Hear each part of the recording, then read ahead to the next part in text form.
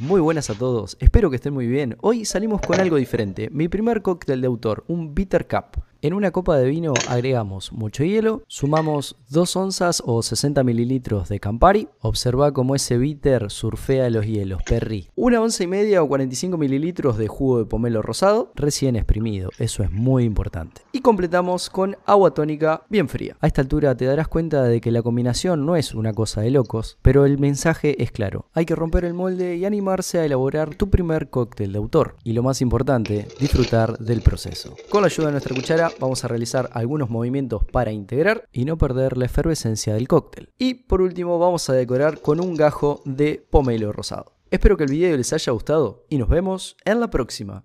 Que lo disfruten.